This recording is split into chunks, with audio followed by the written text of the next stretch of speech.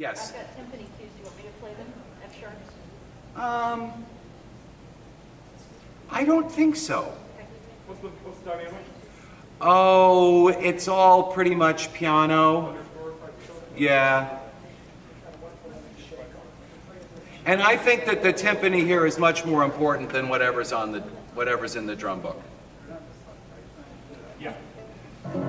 Here we go. Uh, there will also be a sound cue happening at this point, which we can just ignore. It's a church bell or something, and I'm not going to pay any attention to it. Here we go. Two, three, four.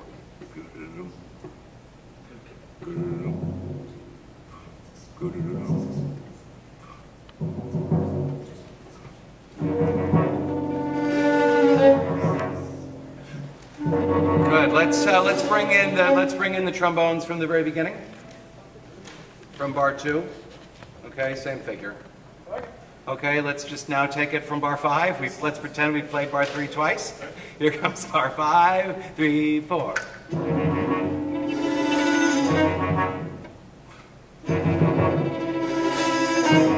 I like that, Todd.